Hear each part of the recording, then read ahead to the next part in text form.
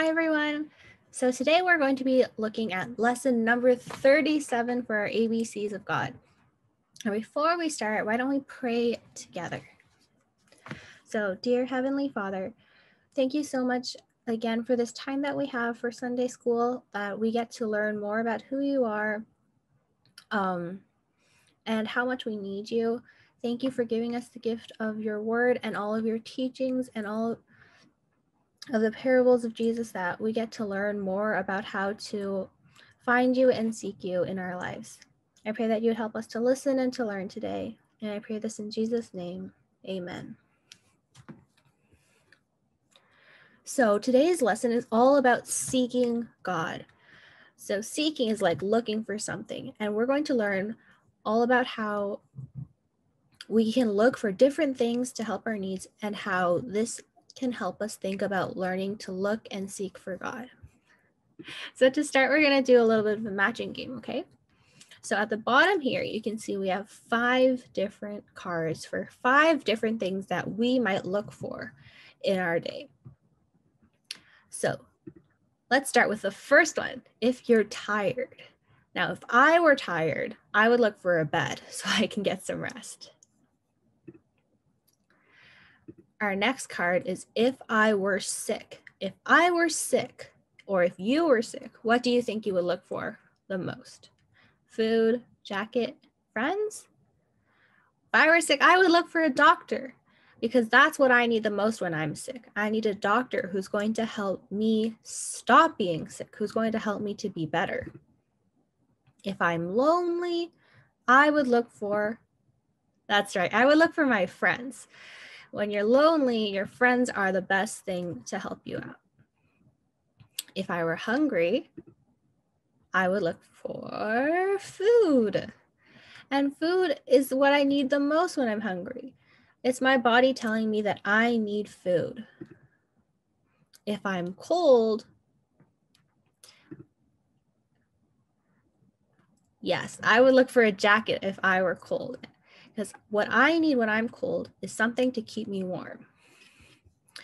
Now, so for all of these, if all of these needs, I can be more desperate for some of these things at some times than other times. Let's take the example of being cold. I know that sometimes you can feel just a little bit cold or can feel extremely, extremely, extremely cold, right? Especially here in Canada. Think about all the different jackets you have. Now, if you're in school and you're feeling a little bit chilly from the air conditioning, you might look for a light jacket, but you could also maybe wait until the end of the class to find something warm. But if you're in the middle of winter in January and you're stuck outside in a blizzard like this one, you can see all the snow falling down and the wind is super cold and hard, then you're going to be desperately looking for a jacket. You're going to need that jacket desperately. And you're not going to be able to wait. You're going to be able to you're going to have to look for the warmest jacket as fast as possible. If i were in a blizzard like this i would be desperately looking for a jacket to keep me warm. So think about how these two different ways of feeling cold and two different needs that we have. The more desperately we feel a need the more desperately we need to look and find and seek the right thing to help us so, in the Bible, in the book of Luke, Jesus told a story about two men. And these two men both had the same need, but I want you to listen carefully and see if you can tell me which man was really, really desperate and why. So you can read this story for yourself or with your parents in Luke chapter 10, verses 10 to 14. And I'm going to read it for us here.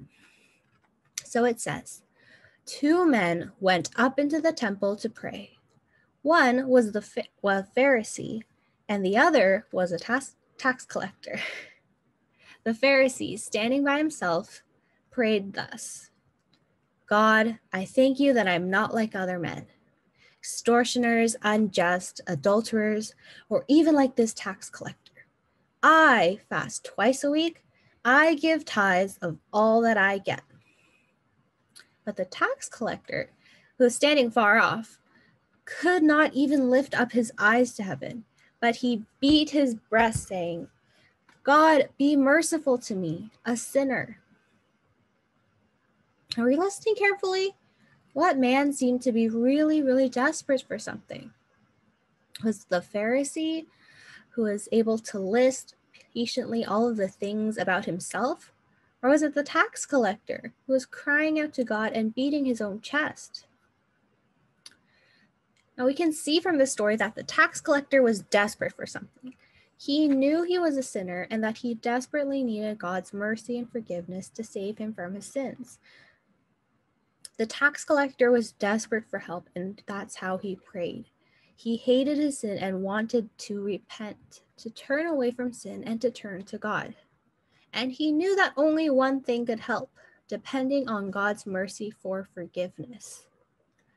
Jesus said when he told this story to his followers that the tax collector went home forgiven. He was able to find the answer to his problems, to his need, to what he desperately needed. Now remember that the Pharisee was also a sinner, just like the tax collector, but he didn't see and recognize that he was a sinner, and he wasn't desperate in his prayers. He wasn't desperate for God's help because he didn't see or think that he had any problem or need for God. So in his prayer, we see that he wasn't even looking for God's forgiveness. And Jesus tells us in the story that the Pharisee was not forgiven for his sins.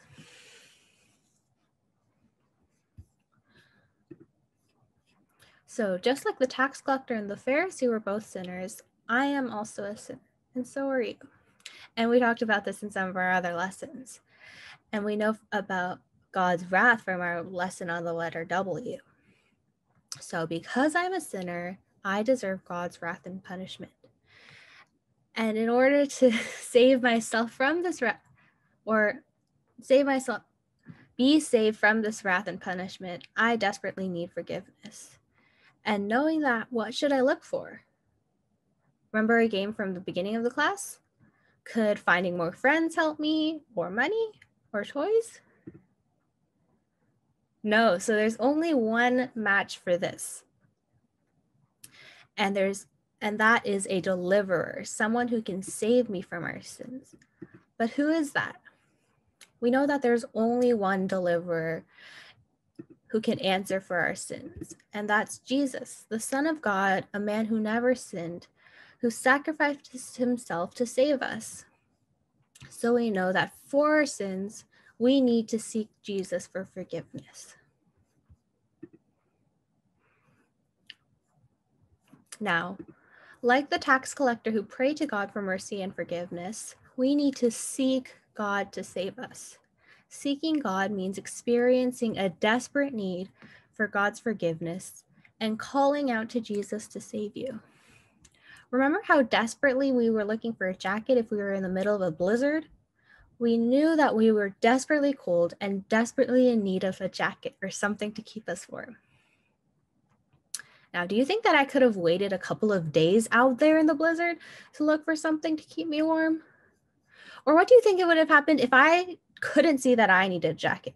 And I thought that I could just warm myself up by myself. I could just whip out a few jumping jacks and I would be fine.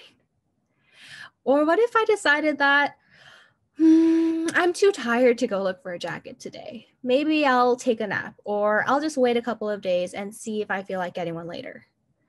Do you think that would have been okay? What would have happened? Well, I would have frozen to death. It was too cold for me to think that I could not have a jacket and be okay. Now, what about our sins and our need for a deliverer, like we were talking about? Do you think I could just maybe seek Jesus when I feel like it? Or maybe I don't need him right now, so I can just wait until later to ask for God's forgiveness? No, of course not. In the story, the tax collector was desperately seeking forgiveness, and that means that he was crying out to God in prayer for mercy as soon as he realized it, as soon as he could, because he needed God so desperately. And we need to realize that our sin is sort of like being stuck in that terrible, terrible blizzard. In fact, it's even much worse than being stuck in the cold. So when we're trying to look for God to help us in our sin, we need to think feel, and act in ways that show we are desperately seeking God's forgiveness. Like the tax collector, if you desperately seek Jesus and call on him and ask for forgiveness, he will save you. We see this in the Bible. In Jeremiah 29, verse 13, it says, You will seek me and find me when you seek me with all your heart. And Romans 10, verse 13 says, Everyone who calls on the name of the Lord will be saved.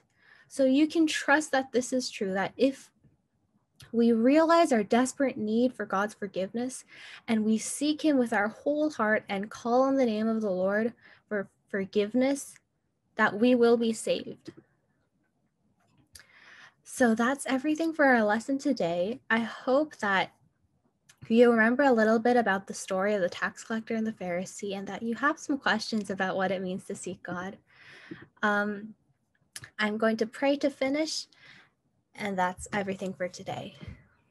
Dear God, thank you so much that you recognize our need for a Savior and that you've made a way through your Son Jesus that we can all be saved and be near to you.